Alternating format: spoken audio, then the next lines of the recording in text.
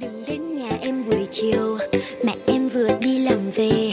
Ba em thì hơi nóng tánh Nên anh chớ có làm liều. Buổi tối thì em học bài Vì em là thân con gái Nên phải chăm lo học hành.